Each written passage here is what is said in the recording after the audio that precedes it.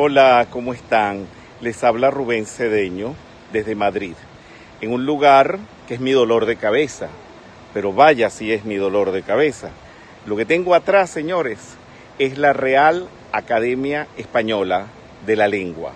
¿Y por qué es mi dolor de cabeza? Porque ustedes saben lo que es tener que escribir tanto como he escrito en mi vida y no saber castellano no saber cómo se conjugan los verbos, no saber cómo tengo que escribir las cosas, eso es un dolor de cabeza.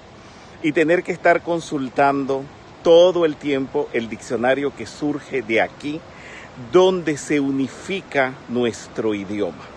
Porque esto no es un asunto de decir que en España lo decimos así, en Argentina lo decimos así, en México lo decimos así o en Venezuela lo decimos así.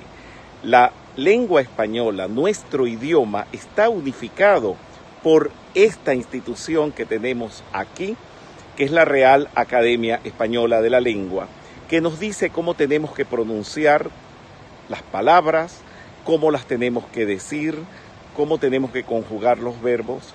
Y esto es algo extraordinario. ¿Por qué? Porque nos permite a todos los países del mundo de habla hispana que nos podamos comprender de manera perfecta.